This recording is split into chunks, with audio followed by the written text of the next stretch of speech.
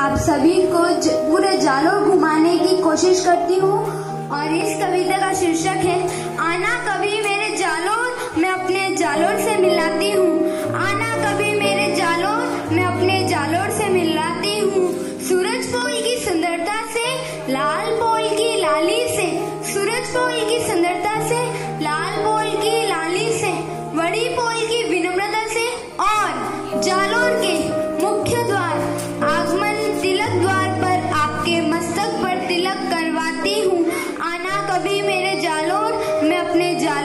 मिलाती हूँ। आना कभी मेरे जालोर, मैं अपने जालोर से मिलाती हूँ।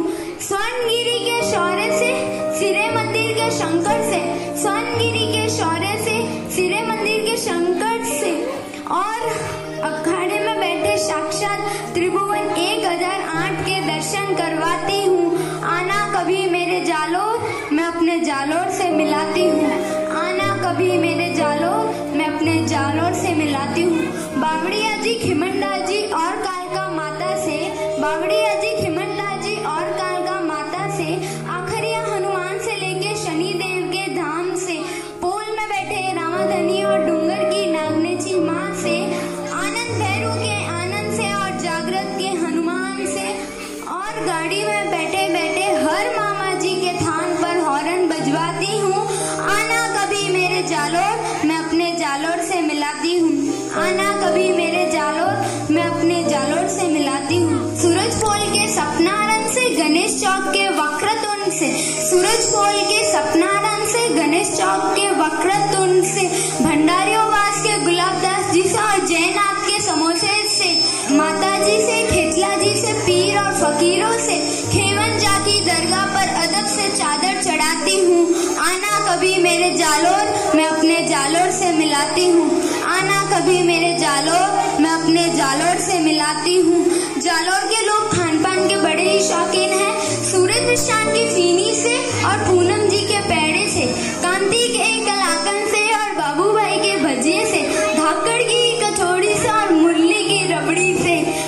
राजू भाई की इडली से और चौक जी की लस्सी से। मनमोहन की भेल से और देव जी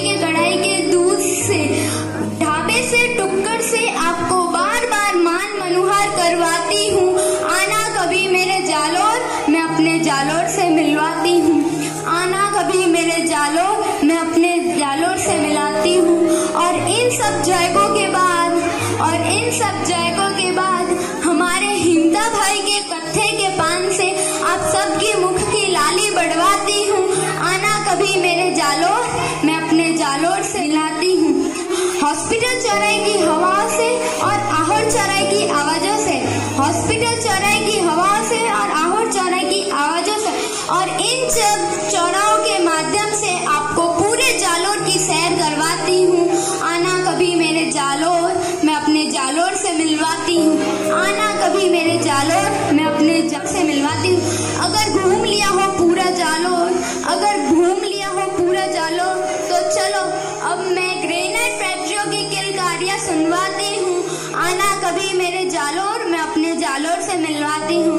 आना कभी मेरे जालोर, मैं अपने जालोर से मिलवाती हूँ। जय हिंद, जय भारत।